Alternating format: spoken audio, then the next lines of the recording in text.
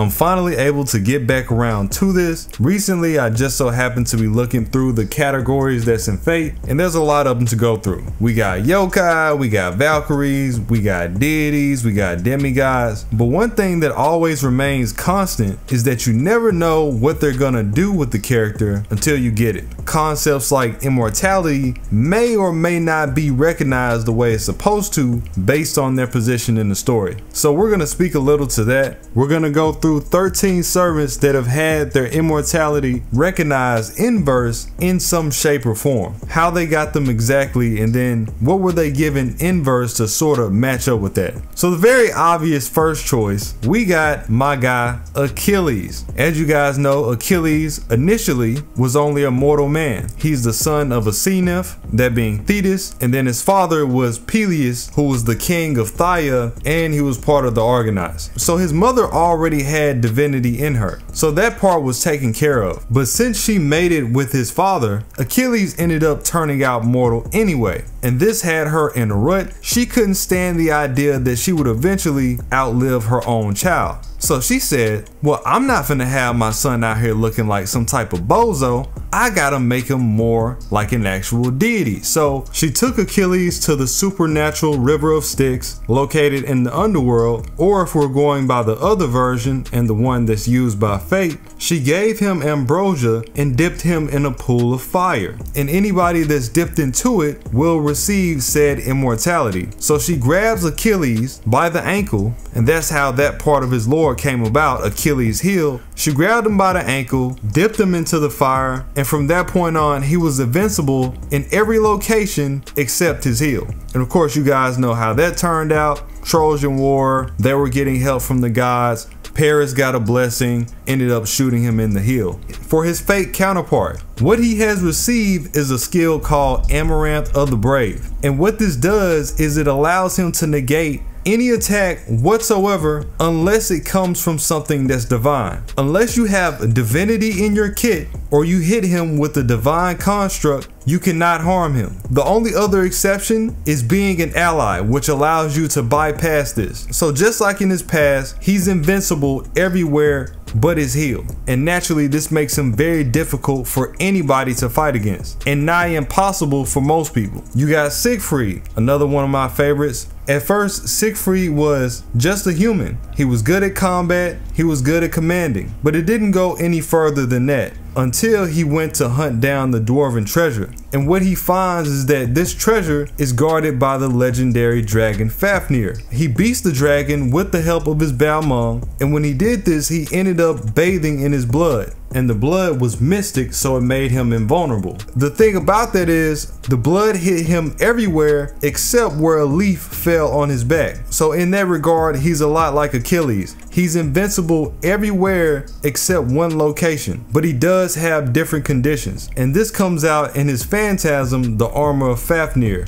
where Unless you have at least an A rank, he will negate any physical or magical attack that's B rank or lower thanks to his armor. Tons of people sleep on my guy Siegfried because of the way that he was handled in the story. They just don't know he's running through a lot of servants. So yeah, the spot where the leaf was, that's his only opening. This is located directly on his back and he does have a curse where he has to leave that spot open. It has to be exposed. That's the main drawback. For our third person, we have Merlin. And truth be told, Merlin is again another one of those people that never passed away. What happened to him was more in line with the personal affair. As I mentioned in the other video, he did have some hookups with Vivian, the lady of the lake. And when he started going around and messing with other women, it really infuriated her. The bad part about this is, by this point, he had already taught her magecraft. So she basically used his own teachings against him and chased chased him all the way into Avalon, where she locked him in the tower and he was stuck to remain there forever. So even now, and this is his main phantasm, he's still in that very tower. A great bulk of the story revolves around it. Honestly, we shouldn't even be able to have Merlin, but he's so broken that the story recognizes his death because he has a way around it. And this comes out as his independent manifestation. Cutting straight to the chase, it allows him to make an avatar from that tower so he doesn't have to leave it. And he keeps everything he has even though it's just an avatar. So despite him still being stuck in Avalon, it's like he's not even there. Normally being at his rank in this skill, you would have to be a beast. Goetia also has this skill for example, but we all know that he's full of surprises. Like him outright running to Babylonia while the world was ending, he could bypass the laws of him being stuck there even after his avatar was destroyed. For our next person, we have Scathach. Now, Scathach is an interesting one because she received a ridiculous increase from her original lore going over into Fate. She didn't have a huge part in the lore. She was no more than that person that taught Cuchulainn or Ku's master. Now, on top of her advanced rune knowledge and her prowess with the spear, she has also fought her way up to immortality. Thanks to her slaying a countless amount of entities in the land of shadows, including gods, the throne started to look at her as being halfway to being a divine spirit. And with that came the inability to die by normal standards. The reason we get her is because the version that we summon, her land of shadows has been dislocated from time. So she was allowed to die. In Fate, you still get a hint of this with her noble phantasm Gate of Sky, which outright kills anything that gets sucked into it if you can resist it. And if you can, at the very least, it will fatally wound you. Not only does it not kill Scathach because of her immortality, but she can also use it to transport herself. Literally out here dimensional hopping at will. That's actually cheating. Next up, we got Quetz. Now, Quetz is a very interesting subject. She's based on the god of the same name in Aztec myth,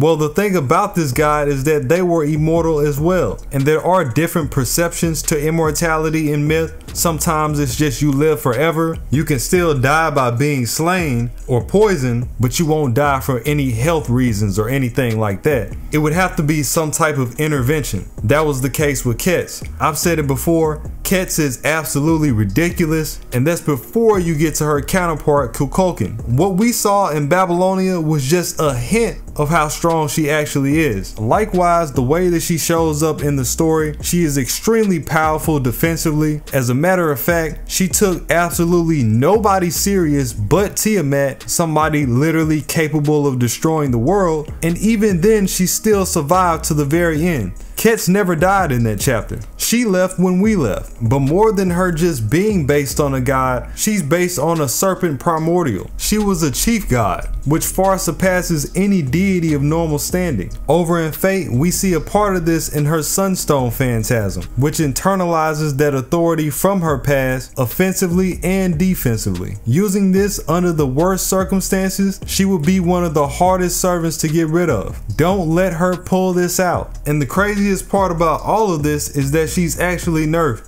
multiple times. One via her summoning, and then also she gave up half her divinity before she even used the move. Next up, we got Caenis. Now, I will say that her immortality comes out still accurate to her lore, but it's not in the way that you think. Originally, Caenis wasn't immortal, but she did have the favor of Poseidon, something they take note of in the story. You know, in myth, Poseidon found her, took her against her will, and then after that, he granted her a wish, and that wish was for her to be turned into a man so she could forego the trauma. So he changed her sex completely. The reason why it's accurate is because what Fate takes note of is that she had the favor of Poseidon. And in doing so, inverse, she also has this same favor. She literally has a skill called Favor of the Sea God, which makes her immortal anytime that she's out at open waters. Doesn't matter how you get there. We've seen her do things like completely eat Sherlock's phantasm, and he couldn't help but just be confused. And that's not the only thing. She was also granted his trident. It's called Poseidon's Blessing, something that's intertwined with her sea god skill. They bounce off each other, which gives her buffs both offensively and defensively. She can't even use the trident at its full power because it would destroy her body, it would destroy her core. So just using some of Poseidon's defensive buffs, not even all of it, made her immortal. And to tack on to that, she was granted his Sea God armor, both of which just further her conceptual defense. She has automatic rejuvenation, she's had her body completely dismembered and survived that. She fell into the Great Pit, which is technically a void, survived that, and she tanked lightning bolts from Zeus. So as far as her immortality goes, even if it's just limited, it's the real deal. Next up, we got King Arthur, Artoria, and Goddess Rongo. Now, for the versions of King Arthur that we get in the story, it's understood that they did die because that's the only way we would be able to get them as a servant. But in his actual myth, there's times where it's been stated otherwise, where just like Merlin, he's still alive and he's in his slumber in a cave waiting on the day that Britain needs him the most. And this is something that you can see translated in lore. Avalon in and of itself is a limited form of immortality. While Arturia is using this, you can't harm her at all. I'd even go as far to say that not only is this one of the strongest armaments in the verse, but it's one of the strongest armaments in fiction. It's literally 6D conceptual defense, and the only chances that you really have against it is hitting her in between or taking it from her. You may get away with the conceptual attack if it's stronger than say something like Muramasa's blade. Absolutely ridiculous on all fronts. Likewise, you have the story of the Lion King who in FGO ended up turning into a divine spirit when she took up the Rhongomyniad at the time of her supposed death. This left her alive for 1500 years and she was fated to live until the end of the world, aka being immortal, so long as she had Rongo. Then we got Heracles, another one that you should be well familiar familiar with. Heracles initially was only a demigod, his mother being Alcmene and his father being Zeus, but when he was brought to Hera, he gained some of her supernatural powers. So his powers extended a bit more than your normal demigod, which would later lead him into being the greatest hero of all time.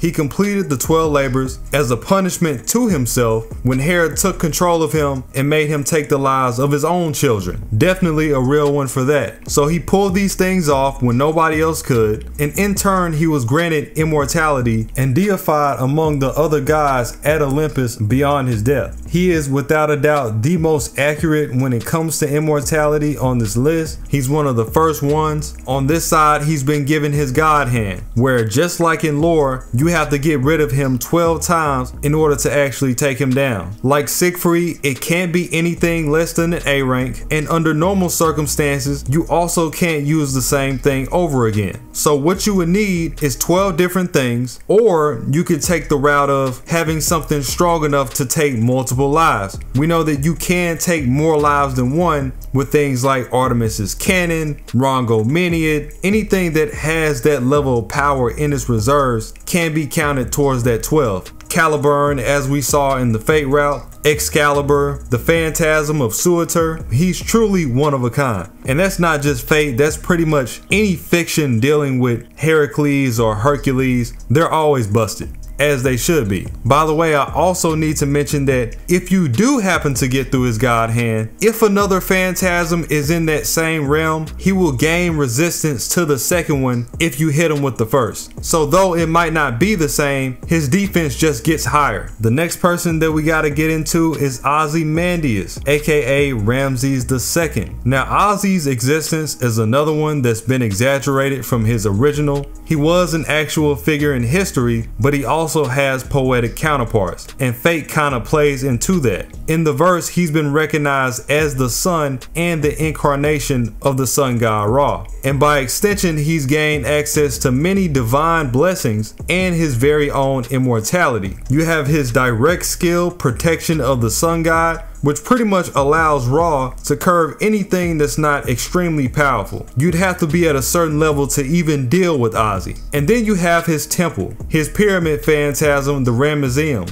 where as long as Ozzy is inside this temple, he cannot be killed. So you would have to take down the defenses of the temple first to truly get rid of him. We've seen this in situations like King Hassan, who was literally a grand servant at the time, literally over him in name cut Ozzy's entire head off and he still couldn't kill him. Ozzy was just shocked that he was able to do it and then he just put his head right back on. What in the Looney Tunes is this? Then you got Come on, man. You got my girl Prelati and her counterpart servant form as well. Prelati was said to have delved into black magic back in her lifetime, and through this in Fate, she has been granted the same magecraft by having Prelati's spellbook. This gives her access to greater magecraft, which is already higher than what the mages from the Age of Man can produce. It essentially goes into the outer gods and the aliens of the verse, and it's also on par with ritual magic. The wild part about that is she didn't even need the book. Even without the book, with her knowledge alone, she was able to find a way to hop bodies for several years. She's been through at least 30 bodies, and she continues to do this through her own method that has still yet to be revealed and that's without using her servant form by the way. Then of course you can't forget angry incarnate Ashwatthama. Now Ashwatthama might not get as much press as Arjuna or Karna, but he is in fact one of the greatest warriors in his myth, the Mahabharata, boasting a rank higher than the both of them. He also had a form of immortality, but again it wasn't through normal methods. What happened to him was he was in a situation where his father Drona was assassinated And the Pandavas had did this during a time of peace. And this is where all his rage and his character comes from. He goes out during the night to return the favor and ambush majority of their camp taking down as many people as he possibly could. It's actually stated that he took down thousands of people, and for that, he ended up being cursed with immortality. It was supposed to be a bad thing. He was cursed to wander the world forever at his worst and never perish. It was a curse put onto him by Krishna, one of the three primordials in Hindu. This same thing happened to him in Fate as well. Originally, he didn't have the curse on him, but the curse of Krishna was placed onto his lost lost belt counterpart by Arjuna Alter.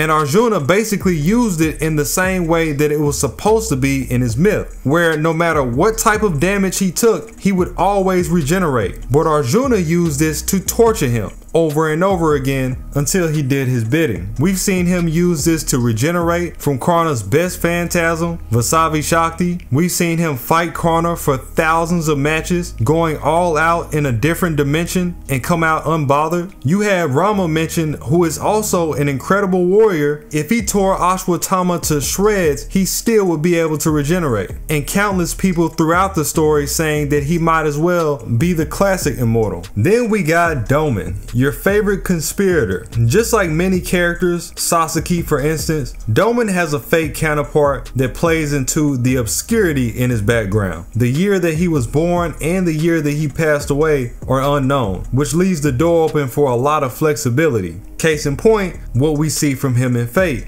Considering that he has no actual death, Fate has intertwined this with his prior dabbling with the occult. They gave him the ability to countlessly reincarnate himself through his life continuation ritual. In doing so, we see him attach multiple Shikigami or ghosts to his Saint Graph, so no matter how many times you take him down, you'll only take down the Shikigami and it will deter you from reaching the main body. This is his form of immortality. And while we're at it, we gotta get my boy Karna in there. We did put Siegfried in there, and this one is no different. In his background, while Karna wasn't actually immortal, he does have access to something that gave him practical immortality. This being his armor and his earrings that he got from his father, the sun god Surya. And in Fate, you can tell they did a really good job with this because he has the exact same thing despite the fact of him being nerfed. In Myth, this set was supposed to make him impervious to any attack. It was actually melded into his body. Now that he has this over in Fate, any attack while he's wearing this, he'll only feel 10% of it. So he gets to curve 90% of an attack while he's wearing this armor. The drawback is, of course, having Karna in general. He's a huge mana drainer, not everybody can handle that. And then the other half is by law of his lore, he actually gave up this phantasm Phantasm to get his Vasavi Shakti, which is the strongest weapon in his kit. So for him, depending on the situation, it's either one or the other.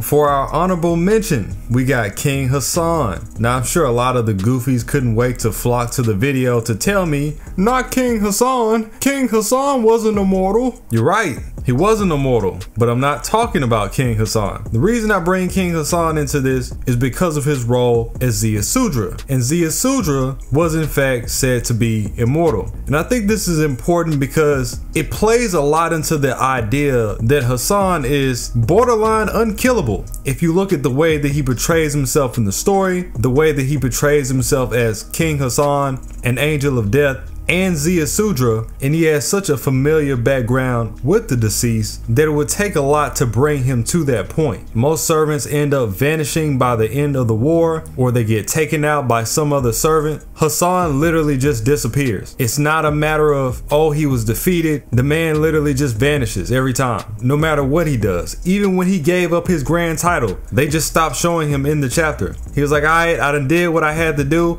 I'm out. And to double down on that fact, I feel like there's a lot of things that we still don't know about Hassan. I feel like he's like Merlin, where he just shows us what he needs to at that time. Babylonia, for instance, you had the time where Ishtar tried to charge him in his Ziusudra form, and she literally went right through him, phased right through his body. There is nothing in Hassan's kit nothing in his material that says that he can do that. And yet this man is displacing attacks at will, further playing into that immortal field. I gotta give it to him. That's just some of the people that's immortal to give you guys something to hold on to, get the gears turning. I do feel like now that I've done this, it's only right that we get into all the people that should be immortal and are actually not. So we may have to do that as well. We'll see how it goes.